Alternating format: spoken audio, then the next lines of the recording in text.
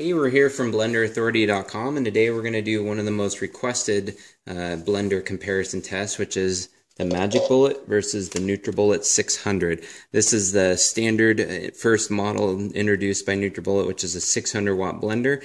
You have the Magic Bullet, which was their first bullet blender. This is a 250 watt blender. Uh, the next step up from the NutriBullet is probably their most popular model, which is the NutriBullet Pro. You can see it's about the same height as the 600 watt, but this NutriBullet Pro is a 900 watt blender. But for comparison sakes, we're just going to do the 600 watt and the 250 watt. Um, the Magic Bullet comes with the smaller cups. You can see here the 18, the 12 ounce. You have the NutriBullet 600 watt. This comes with the short cup, the tall cup and it comes with the colossal cup which is over here. Now the NutriBullet 600 is the only model that comes with both the flat milling blade for doing nuts and grinding and then it comes with its standard uh, extractor blade which is for blending, pureeing, and it can also grind because of the low flat blades. The only uh, blade that comes with the Magic Bullet is the standard four prong blade. This is their cross blade. If you get an upgraded Magic Bullet set, it does come with a milling blade, but it's not necessary needed. And the first comparison test we're going to do is we're going to use a half a cup of frozen berries. We're going to use a half a banana, and we got about a half a cup of ice cubes. I'm going to throw in a half a cup of liquid. And I'm keeping the same amounts of ingredients between the two blenders just to keep it comparison wise. We'll use the smaller cup on the NutriBullet.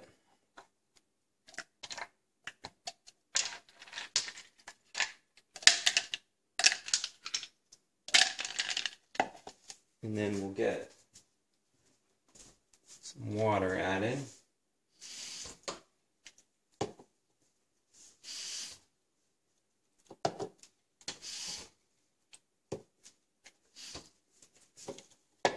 You're new to bullet blenders, all you do to use them is you just screw on the blade. Stick it in like that. Here you just screw it on. Make sure it's on secure. Just remember with bullet blenders you can't use any hot or warm liquids because of the tight seal. It'll create pressure in the jar. And we'll just blend them here for 30 seconds.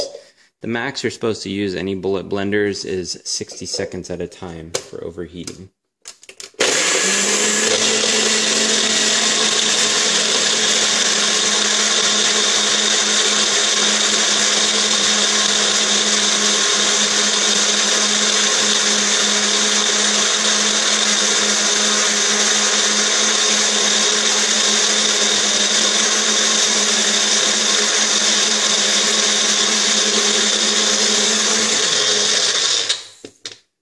Alright, so we're going to try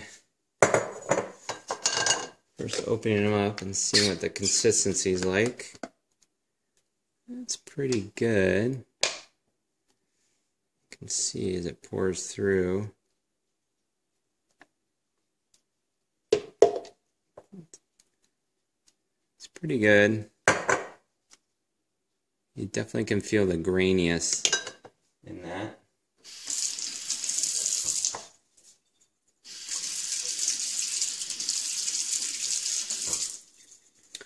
Next we'll look at the NutriBullet.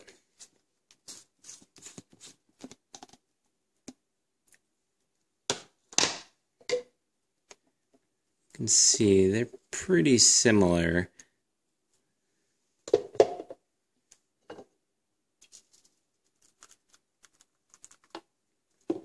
I don't know if you can see, but it pours through the strainer much quicker with the NutriBullet, so the consistency is definitely finer.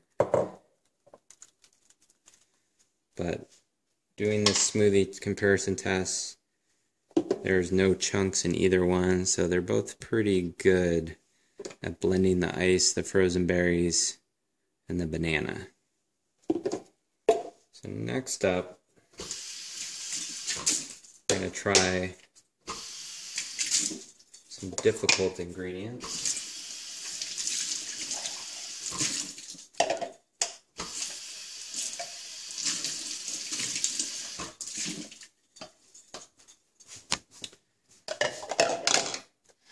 Next up, we're going to use some fibrous vegetables, which is a good test for smoothies.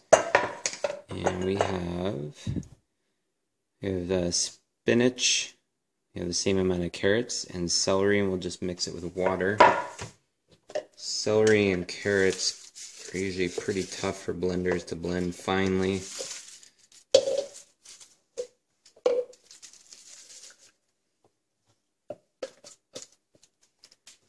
I'll fill them up each with water.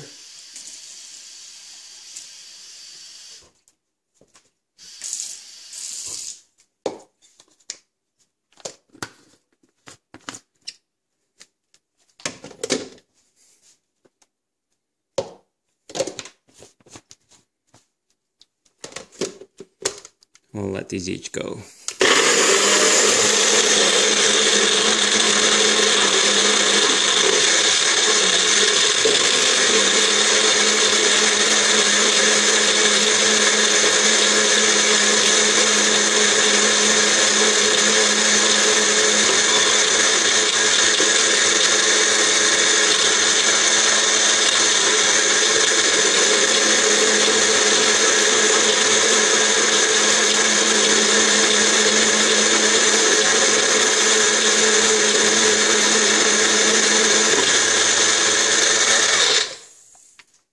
Alright. One noticed about the Magic Bullet, you can see some of the liquid leaking through. That is a concern.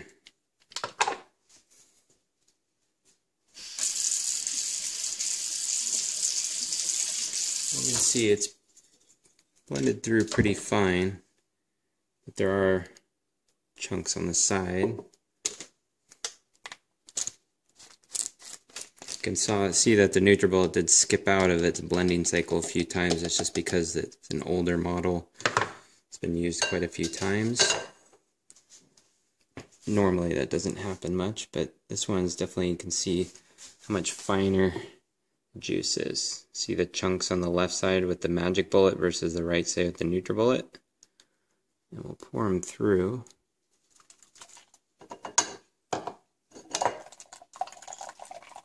Going through pretty good.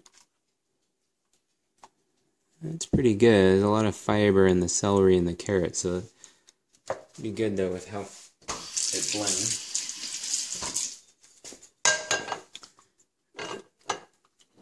this one, oh, you can see how much chunks are in this one. This isn't even drinkable. It's just too thick. Just really doesn't have the the power to really finely blend through something like celery or carrots. Anything with a lot of fiber too would be a little more difficult, but that needs a lot of time to go. So on that one, the NutriBullet definitely outperformed the Magic Bullet. And then our final blending test is we're to try out just blending some raw nuts. We're going to grind up some oats. And then we'll do another test with ice cubes. But I'm going to pause this now and then we'll get to those tests soon. Alright, we're back here and now we're going to do a few more tests for comparing the Magic Bullet and the NutriBullet. Um, first we're going to try out comparing blending out just raw oats. So first, blades on. As you recall, the NutriBullet 600 is the only NutriBullet that comes with a separate milling blade. So if you're using the NutriBullet 600, it's easier to just do it with a milling blade. But I did show in another video where I was grinding just raw flaxseed into flaxseed powder for smoothies, and both of the extractor blade and the milling blade work fine. So for comparison sakes, because of the design of the blade, we're going to use a similar blade between the two blenders. We'll stick this on. Give it a go.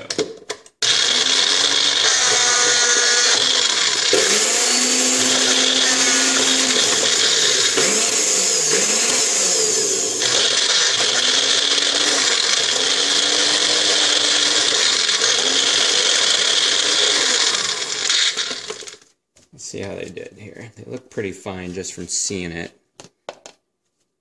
That is really fine. NutriBullet I've used so many times I know it has no problem handling stuff like flaxseed and oats and various flours. This one's pretty good. There's definitely, I don't know if you can see it, there's more chunks. Sorry, I still have blackberry juice all over my fingers, but you can see it's pretty good, but not as fine as the NutriBullet. Might be hard to see on the video, but NutriBullet's a little bit finer. So next up, people always ask about can I make nut butters? You know, making nut butters is a pretty thick task making with blenders. Um, usually, if you're making any nut butters, it's easier with one where it has a tamper on the top, like you see with a Vitamix or other maybe a full size blender, because you can use that tamper to move it around. With the bullet blenders, the problem is it can get stuck, and so you have to keep taking the lid off, moving around, putting the lid back on. So it's generally it's best to use it with a little bit of oil to help move the ingredients around, but it does depend on the nuts, depending on if they're fattier or thicker um, oil-wise than some of the other nuts. But we'll do it real quick with cashews, just see how it does. And some people just grind up nuts to put it in their smoothies or in various recipes for part of the ingredients. So let's try these out. We'll just pulse them.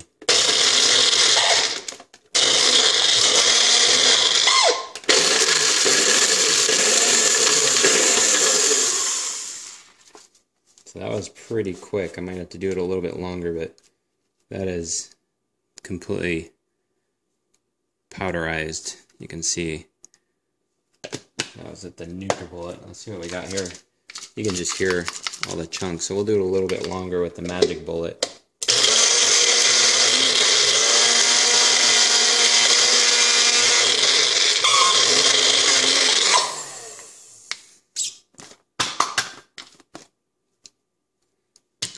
It did pretty good, although there's a lot of chunks in this. That's a hard nut right there in the middle, so I can feel that. Let me check the, the NutriBullet one again.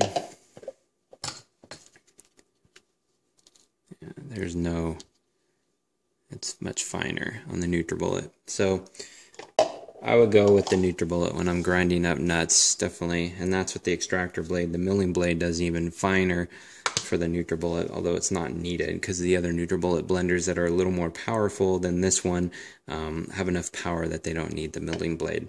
So that's that for those. And then our final test is, I was just going to do a quick chopping test with an onion. So I'm going to just stick in a chunk of onion, chunk of onion, they advertise how the Magic Bullet is good as a food processor, so this should be a simple test of how it does at dicing up a vegetable. We'll see how it goes. Stick this in the other container. And we'll just pulse it because we don't want to puree these. So we'll do one at a time. First we'll try this one, the Magic Bullet.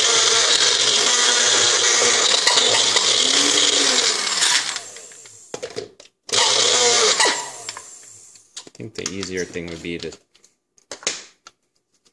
to try to chop it up a little bit more.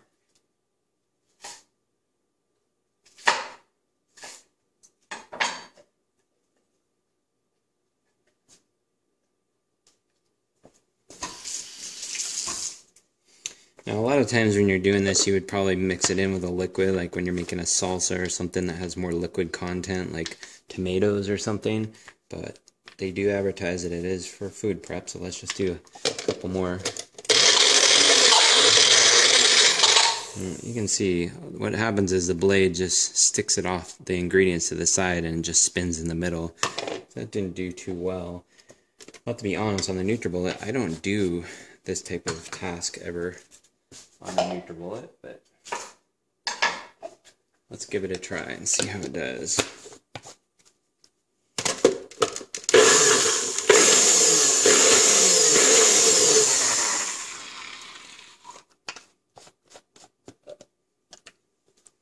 Pretty good.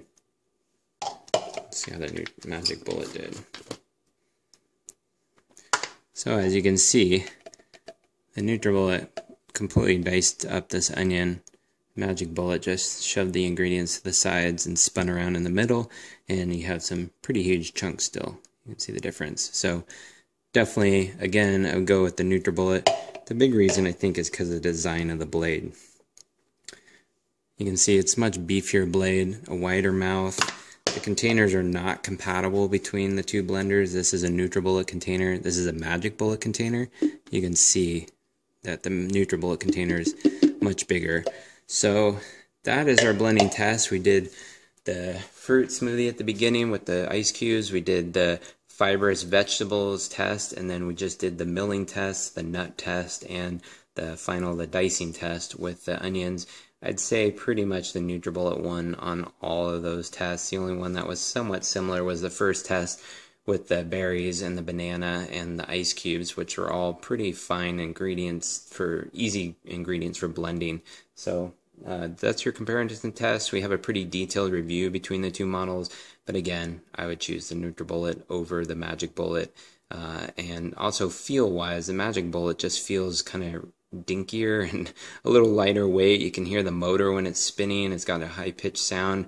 And um, when I did one of the earlier tests, you could see the liquid was out on the bottom. I was a little disappointed by seeing that. So it just doesn't feel as sturdy. Um, I've used the NutriBullet blenders for four or five years. It's much heavier weight, better built. So um, I would pay up a little bit more for the NutriBullet. And um, that's it. So if you have any other questions, leave a comment below this video, and uh, we'll link to our overall review videos on or post on our blog. Thanks for listening.